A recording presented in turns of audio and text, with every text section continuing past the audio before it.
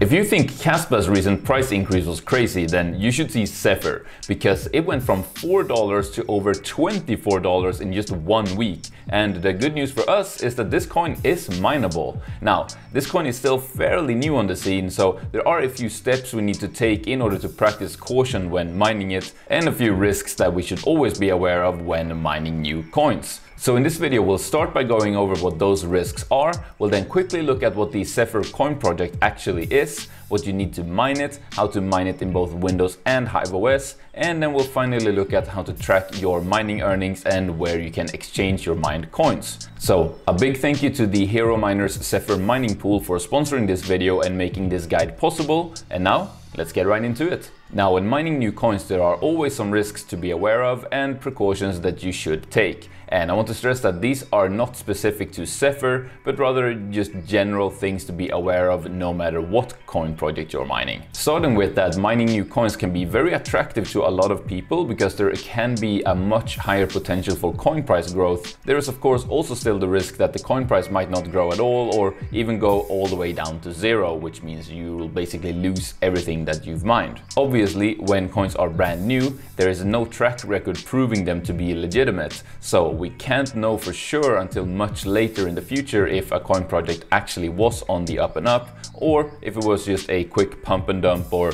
just a straight up scam even. There can of course also be other risks involved too. For example, there is always a risk that the actual coin project itself could be nefarious. An example of this that we've seen before is where the wallet app for a new coin is just a disguised piece of malware. So while you think you're installing the official wallet app of a new coin, you're actually installing a computer virus that will go in and for example, steal the crypto from all the other wallets you have installed on your network. So always take extra care if you need to install an app that you can't say for 100% sure that you trust. I'm actually working on a video for how to safely install and use wallet apps the easy way without putting your other wallets, devices or network at risk. So subscribe if you don't want to miss that video coming out soon. And also, Again, I'm gonna point out that I'm not saying that any of this is the case for Zephyr, just that they are general risks to be aware of when mining new coins. And I simply want to make sure I put that in every video where I talk about mining newer coins. Alright, so what exactly is the Zephyr coin project? Well, it's kind of three coins in one.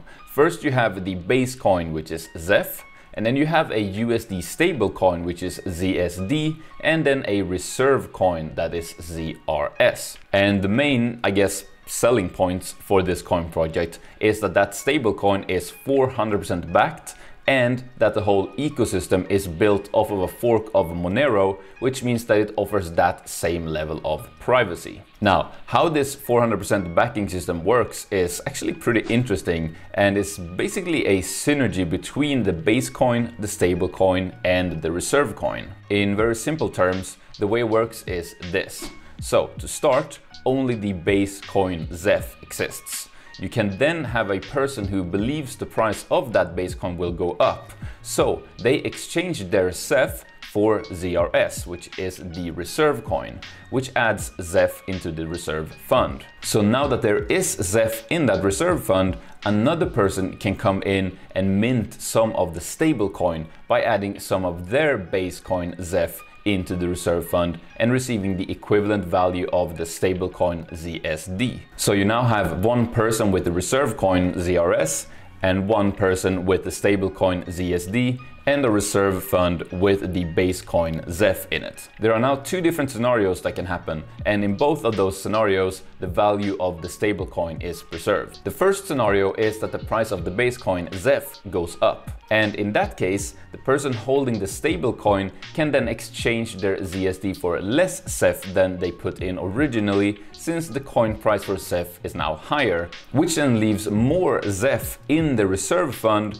that the person with the ZRS reserve coin can now receive as it has been freed up. Or the other scenario is of course the opposite, where the price of the base coin Zeph goes down which means that the person with the stablecoin ZSD can now exchange that for more Zeph than they put into the reserve fund originally, which of course leaves less Zeph for the person holding the reserve coin ZRS. And in order to mint more stablecoins, there first need to be enough new Zeph put into the reserve fund by people wanting the reserve coin ZRS. Basically, in theory, the stablecoin should always be worth exactly $1 thanks to the people backing it by exchanging their base coin for the reserve coin. And the people holding the reserve coin get even more base coin when the price goes up, but they also lose out extra hard if the coin price goes down. But none of that really matters if all you plan to do is just mine the coin, because then all you're getting is the base coin Zeph. So what do you need to mine Zeph? Well, the Zephyr blockchain uses the RandomX algorithm, which is a CPU mining focused algorithm. So you'd need either a computer with a decent CPU or a dedicated CPU mining rig.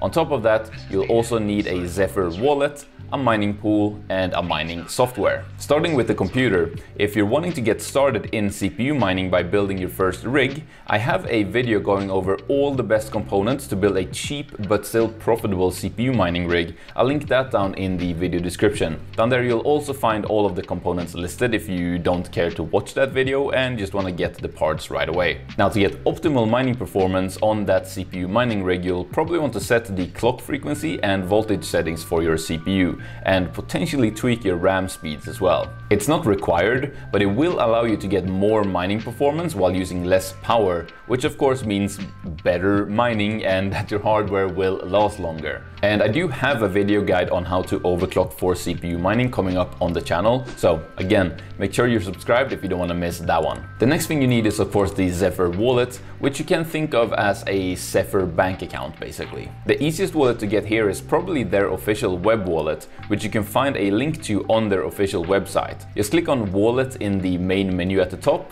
then go through the steps to set up a new wallet and make sure you save your wallet file in a safe place offline, as well as write down a copy of your seed phrase and keep that somewhere safe. Once done, just log in, click on receive, and this is your Zephyr wallet address where you will be receiving your mined coins. I'd recommend you copy this wallet address somewhere because we'll need it in just a little bit. If you later want to sell or swap your mined Zeph on an exchange, just click on transfer in the menu, enter the amount and your receiving address on the exchange and send. To see what exchanges you can currently trade or sell Zeph on, just look the coin up on CoinGecko and scroll down to the markets section to see the main trading pairs or click on see all trading pairs to see them all. Of course, I can't vouch for any of these exchanges here and you'll have to do your own research on if you're comfortable using them or not. Next, we need a mining pool. And for those of you who might be new, a mining pool is basically just a place where you get together with a bunch of other miners for the coins and you split the mining rewards equally based on the hash rate each person has. The reason for doing this is to take the luck factor out of mining so that everyone gets paid fairly. Of course, we're gonna go with HeroMiners for our pool, not only because they are a long-term trusted mining pool with support for loads of different coins, but also because they made this guide possible by sponsoring this video. You can find their Zephyr mining pool at zephyr.herominers.com. Finally, we need a mining software, and the one we're gonna use for this is called XMRig. So let's see how to download that and set up Zephyr mining in Windows, and then we'll move over to HiveOS. To download XMRig, which is the mining software we need in Windows, you just need to come to the official XMRig GitHub page, click on releases and download the latest version of the miner by right clicking on the Windows zip file and choosing save file as. Now it is important that you save this file in a folder where you have made an exclusion inside of Windows Defender and any eventual antivirus software you might have. You might also have to disable safety features in your web browser. This is because mining software is often falsely flagged as malware since a lot of malware also features mining software in it. Making these exclusions are of course always done at your own risk, so just keep that in mind.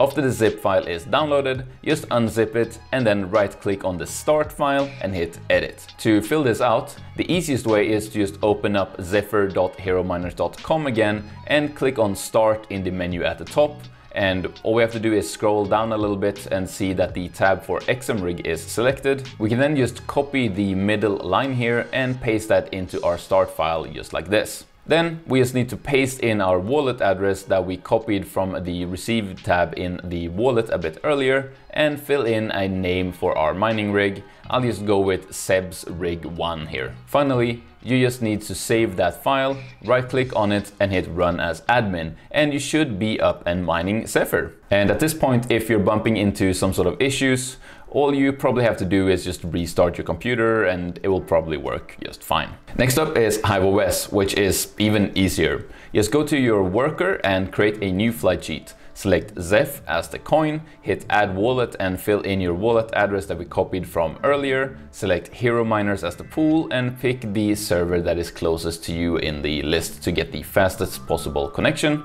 Then pick XMRig new in the miner field and click on setup miner config. There are a few things we need to fill in here, starting with the CPU huge pages field.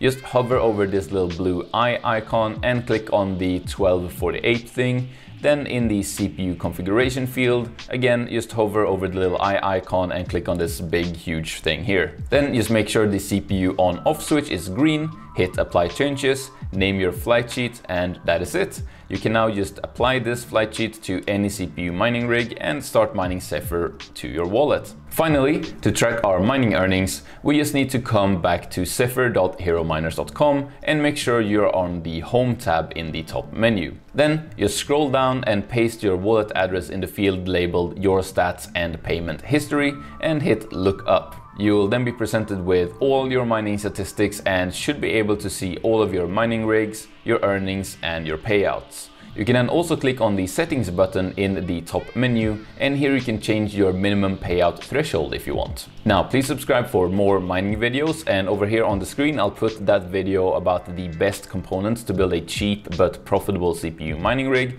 as well as another video on how mining profitability actually works in the real world. So I'll see you there. Thanks for watching.